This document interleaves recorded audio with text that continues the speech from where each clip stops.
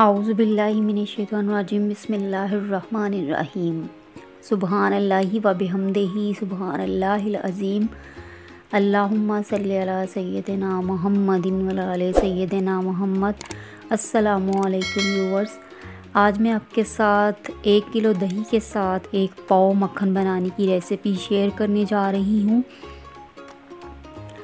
आप दू, एक एक लीटर दूध के साथ दही बनाने का जो तरीका है, जो रेसिपी है, वो मेरे चैनल पे मौजूद है। मैं डिस्क्रिप्शन में उसका लिंक दे दूँगी। आप दूध से दही बनाने का तरीका वहाँ से देख लीजिएगा। वैसे मैं आपको बता देती हूँ कि दूध से कैसे दही बनाई जाती है। आपने पहले दूध को बहुत अच्छे तरीके से बॉईल करना है, बिल्कुल मीडियम लो फ्लेम के ऊपर 20 मिनट के लिए।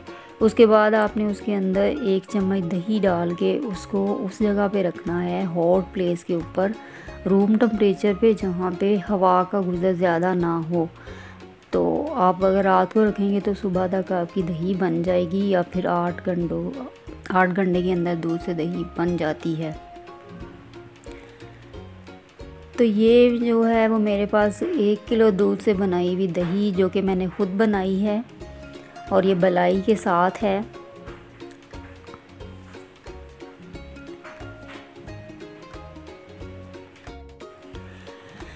ये मेरे पास फुल चिल वाटर है, ठंडा पानी, जो के तकरीबन हम एक से डेढ़ ग्लास के करीब जो है वो जग में डालेंगे। मक्खन जब दही से निकाला जाता है तो इसकी बाद में एक लस्सी सी बन जाती है। उस लस्सी को आपने वेस्ट नहीं करना, आप उसको पी भी सकते हैं। अगर पीना नहीं चाहें तो आप यकीन करें, आप उसकी कड़ी बनाएँ। कड़ी बहुत मज़ेदार बनती है, उतनी मज़ेदार दही से नहीं बनती जितनी इसके मक्खन के निकाले हुए लस्सी से दही कड़ी तैयार होती है। सबसे पहले आपने दो मिनट के लिए ब्लेंडर को मीडियम फ्लेम स्पीड के ऊपर चलाना है, फिर बंद कर देना है। बंद करने के बाद आपने इसके अंदर फुल ठंडा पानी डालना है। अगर तो गर्मी के मौसम में आप बना रहे हैं या दरमियाने मौसम में तो फुल ठंडा पानी, चिल पानी आप इसके अंदर डालेंगे। और अगर फुल सर्दी के अंदर बना रहे हैं तो फिर आपने इसके अंदर गर्म पानी डालना है। ये टिप आप याद रखिएगा। ये देखें ऊपर मक्खन आ रहा, आ गया हुआ है। ये तकरीबन 250 ग्राम्स मेरा वन लीटर दूध की दही से निकल आया था।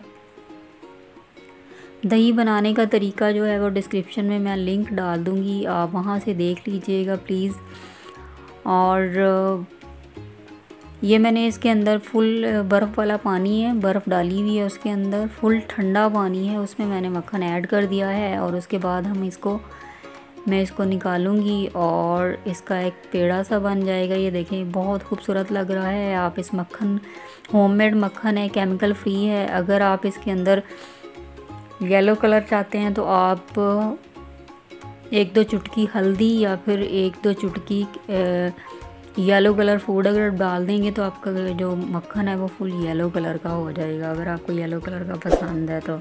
ये देखिए, मैं इसको हाथ से दबा रही हूँ, लेकिन ये इसके अंदर लस्सी या पानी मौजूद नहीं है। ये बहुत अच्छा तैयार हुआ है। Thank you so much cake बनाएँ इसके साथ। ब्रेड पे लगाएँ। Thank you so much